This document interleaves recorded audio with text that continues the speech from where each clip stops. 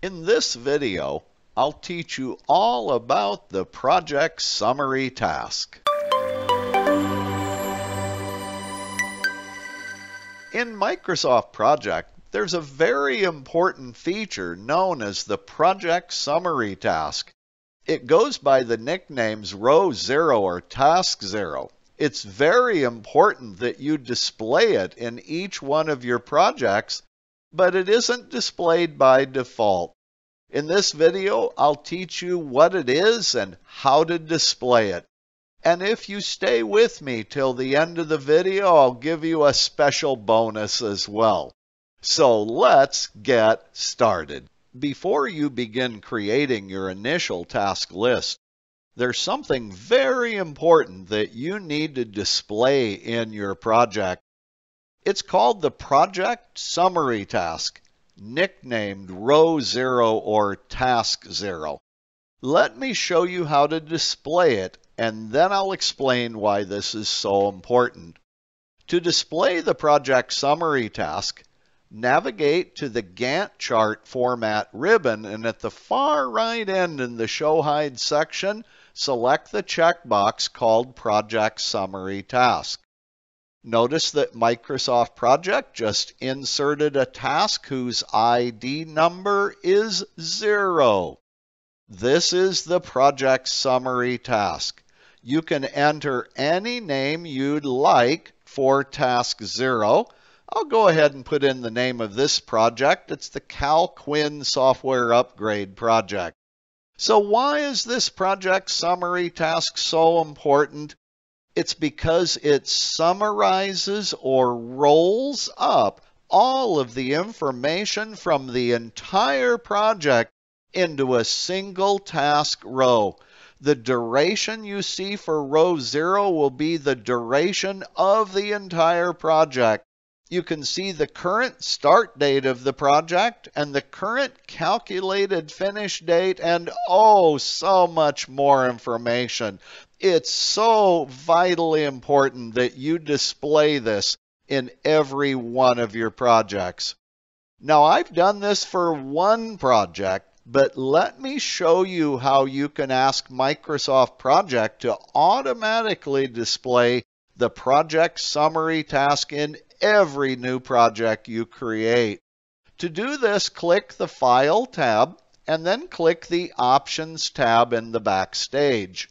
In the Project Options dialog, click the Advanced tab on the left side and then scroll all the way down to the bottom to the Display Options for this project section.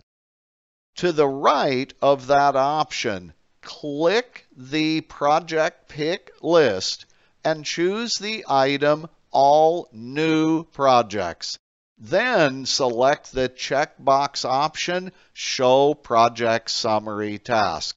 When you click the OK button from this point forward, Microsoft Project will automatically display the project summary task in every new blank project you create. Let me prove it to you in case you think I'm making this up. So let me go ahead and create a new blank project. And there it is, ladies and gentlemen. There's task zero or row zero the project summary task in this new project.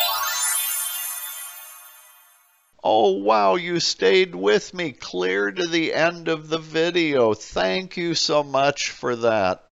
You know, in the real world, there's a lot of self-taught Microsoft Project users who don't know there's such a thing as the project summary task but yet they instinctively feel there's a need for a top level summary task that will summarize the entire project. In this example project, you can see one such situation. The project manager created row 1 and indented everything below it one level to the right, which makes row one or task number one an artificial project summary task. However, an artificial project summary task isn't needed. And this task should really be deleted and replaced with the real project summary task. So I'm going to display the real project summary task. Remember, it's row 0 or task 0. And then I'll go back to the task ribbon. I need to delete task number 1, but how do I do that? Here's how. Select task number 2. Then on your computer keyboard, press and hold the Shift and Control keys and then press the down arrow key. That action will select every task from task number two all the way to the end of the project. With that done, in the Schedule section of the ribbon, click the Outdent Task button.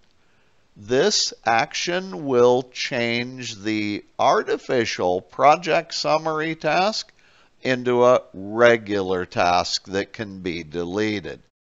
To delete the task, right-click anywhere on the task name, and on the shortcut menu, choose the Delete Task item.